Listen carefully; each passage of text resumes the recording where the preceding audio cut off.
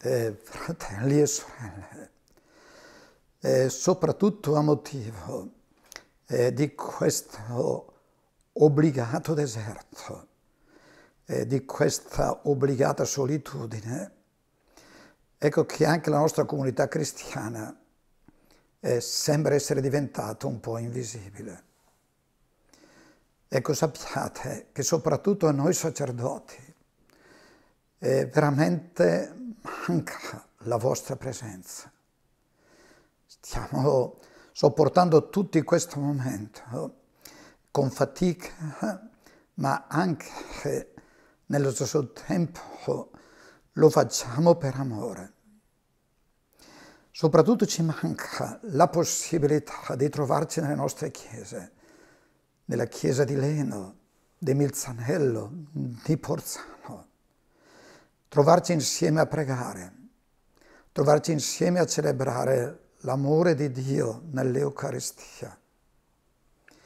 Proprio per questo desidero mandarvi questo semplice e piccolo messaggio che vorrei ripetere ogni settimana, un messaggio settimanale per dirvi innanzitutto che la nostra comunità cristiana è ancora viva, che noi sacerdoti continuiamo a trovarci a pregare e a celebrare l'Eucarestia per voi, che possiamo e dobbiamo mantenere la comunione spirituale fraterna tra tutti noi.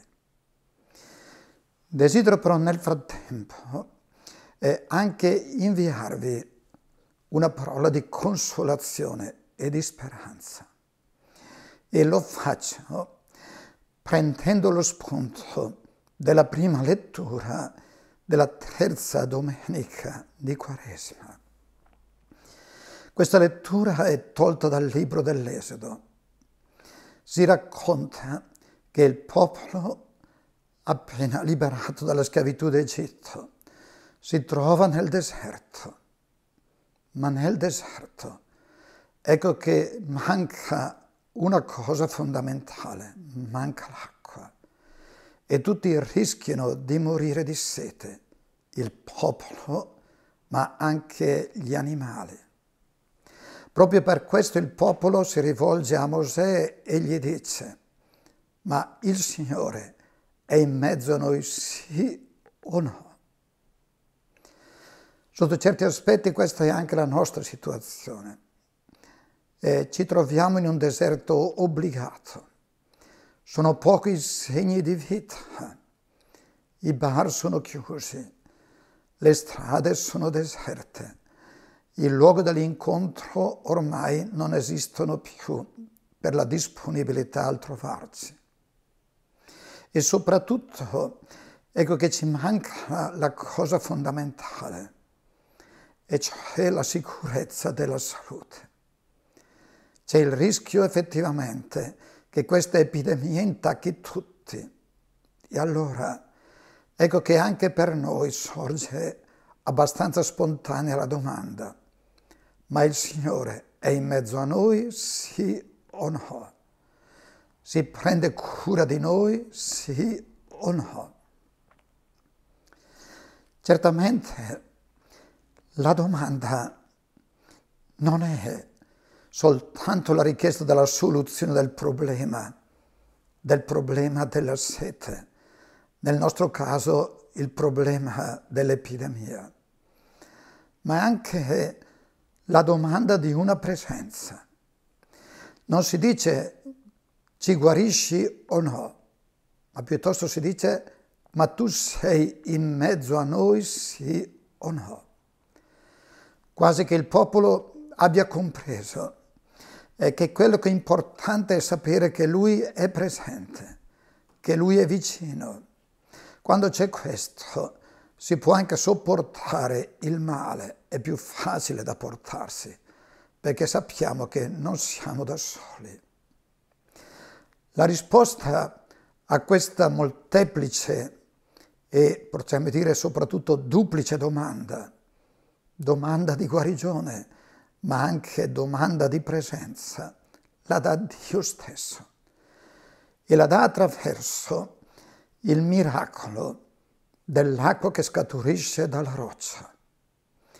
Acqua abbondante, acqua per tutti, acqua che fa rinascere la possibilità di una vita. Nello stesso tempo però dobbiamo fare attenzione, è che Dio dà l'acqua da bere e che fa riprendere la vita non direttamente, non con un miracolo così evidente, eclatante, ma per certi versi nasconde il miracolo attraverso la mediazione di Mosè. È Mosè che prende il bastone e con questo strumento picchia la roccia e da quella roccia esce acqua. È un po' sempre così nella Sacra Scrittura. Difficilmente Dio fa un miracolo evidente e difficilmente mostra la sua presenza evidente e eclatante per non obbligare nessuno a credere in Lui, ma piuttosto si nasconde perché tutti quelli e soltanto quelli che vogliono credere possano credere. Ora, anche nel nostro caso, certamente Dio è presente e si prende cura di noi. Ecco, Dio vuole guarirci da questa epidemia, ma non vuol farlo da solo. Si serve di mediatori, si serve delle nostre amministrazioni, si serve soprattutto dei medici, degli operatori pastorali. La provvidenza di Dio si mostra attraverso queste mediazioni umane. Proprio per questo, ecco che la nostra gratitudine non deve andare semplicemente a Dio, ma deve andare sia pure a Dio, ma attraverso anche il grazie agli operatori sanitari che si stanno prodigando in maniera effettivamente encomiabile. Obbedire a quello che ci dicono e obbedire anche a quello che ci dicono le nostre amministrazioni in questo momento equivale a riconoscere che Dio si serve anche di queste indicazioni per darci salvezza, per darci salute, per darci liberazione e speranza. Certo una parola di speranza, di speranza cristiana, ma San Paolo nella seconda lettura dice che questa è una speranza che non delude, perché l'amore di Dio è stato effuso nei nostri cuori per mezzo dello Spirito Santo che Egli ci ha dato. Coraggio quindi e buona domenica.